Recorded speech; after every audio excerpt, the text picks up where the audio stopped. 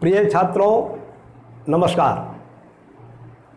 आज हम एक ऐसी प्रॉब्लम पर विचार कर रहे हैं, जो कक्षा नौ, दस, ग्यारह, बारह और बीएससी के सभी छात्रों के लिए उपयोगी है।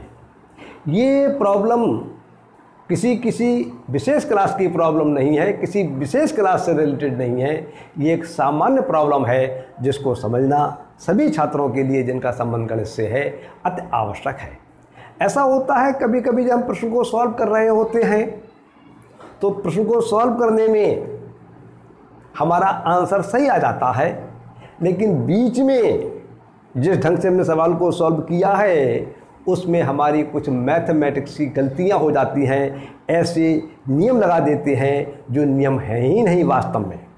तो उस नियमों की आपको जानकारी हो और उन गलतियों से आप बचें, इसके बारे में आपका ध्यान रहे, इसके लिए हमने ये आज वीडियो नोट किया है। तो आज का प्रश्न यह है हमारा कि किसी छात्र से कहा गया, सिद्ध करो sine A plus B into sine A minus B is equal to sine A plus sine B into sine A minus sine B उस छात्र ने क्या किया? उस छात्र ने यह समझा कि a प्लस बी पर साइन का डिस्ट्रीब्यूटिव लग जाता है और वितरण का नियम लग जाता है और इस प्रकार से इसको लिख देते हैं हम sine a plus sine B और ए माइनस बी पर भी उसने साइन का डिस्ट्रीब्यूटिव लगा दिया और लिख दिया साइन ए माइनस बी बराबर sine A minus sine B जबकि ये दोनों गलत है। गलत के अंदर ये कोई आइडेंटिटीज है ही नहीं। ये लगाना, ये लिखना गलत है। साइन ए प्लस बी पर डिस्ट्रीब्यूटिव ला नहीं लगाता है। बल्कि साइन ए प्लस बी की वैल्यू होती है। Sine A plus B is equal to होता है sine A cos B plus cos A sine B. और साइन ए माइनस बी बराबर होता है sine A cos B minus cos A sine B. तो यदि वो छात्र यहाँ पर इसको न लगाकर,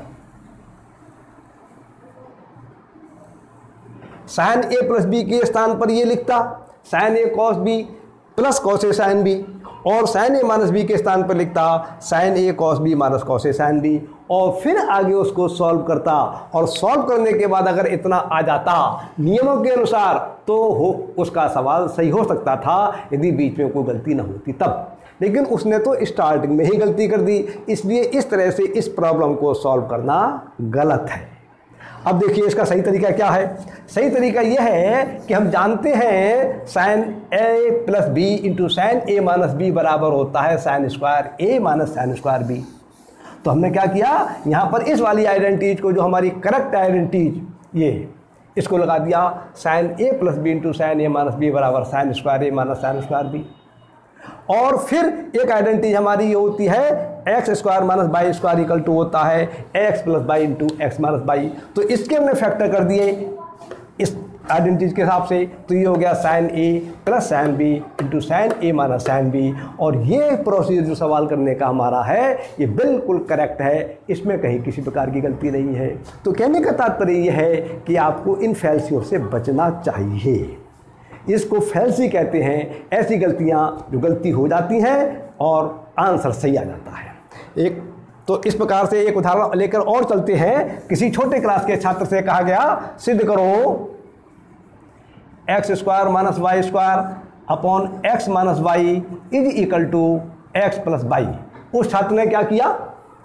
एल एच एस लिख लिया और लिख दिया x square minus y square upon x minus y और उसने क्या किया? एक्स स्क्वायर को एक्स से डिवाइड कर दिया और यहाँ पर उसने एक्स बचा दिया। इस वाई स्क्वायर को बाई से डिवाइड कर दिया तो यहाँ बाई बचा दिया और इस माइनस से माइनस को डिवाइड करके उसने प्लस कर दिया और ये कह दिया उसने, ये एक्स प्लस बाई हमारा आंसर आ गया, ये बराबर आर एच एस जबकि इस प्रश्न इस प्रकार से प्रश्न को हल करना बिल्कुल गलत है, क्योंकि किसी भिन्न में ऊपर और नीचे के पद तब काटे जाते हैं, जबकि उनके बीच में गुणा का चिन्ह हो। लेकिन इसके बीच में मानस का चिन्ह है, इसलिए इसको इस प्रकार से कैंसिल नहीं कर सकते। इस प्रकार से प्रश्न को हल करना गलत है। अब सही तरीका क्या है इसका? सही तरीका यह है, हमने ले लिया L H S x square minus y square upon x minus y इस समय अंश में दो पद हैं, एक एक्स स्क्वायर और एक माइनस बाई स्क्वायर और हर में एक पद है एक्स माइनस बाई या एक पद मान लीजिए, या दो पद मान लीजिए, इन दोनों पदों को मिलाकर हम एक पद मान देंगे ऊपर वाले के फैक्टर कर दिए साइड के तो ये हो जाएगा हमारा एक्स माइनस बाई और इंटू एक्स प्लस बाई और नीचे हमने लिख दिया ये हर में एक्स माइनस बाई अब ऊपर अंश में जो है इस समय भी दो पद हैं।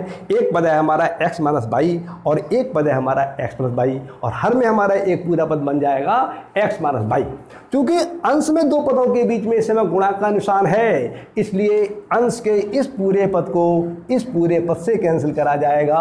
ये नहीं कि हम इसको इससे कैंसिल कर दें इसको इसके कैंसिल कर दें इसको कैंसिल कर दें कैंसिल गलत करना हो जाएगा। इस पूरे टर्म को, इस पूरे पद को इस पूरे पद से कैंसिल करा जाएगा और फिर हमारा बनाएगा जाके बराबर एक्स प्लस बाई बराबर आर एच एस तो इस प्रकार से ये प्रश्न हमारा सही तरीके से हल हो गया।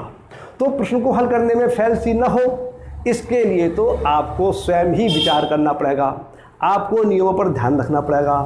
नियम कौन सी आइडेंटिटी सही है, कौन सी गलत है, इस बात पर आपको विचार करना पड़ेगा। ये नहीं, आप इन बातों को ध्यान रखिए और इस तरह से सवाल के अंदर फैलसी आपकी ना हो, उन बातों से आप बचिए।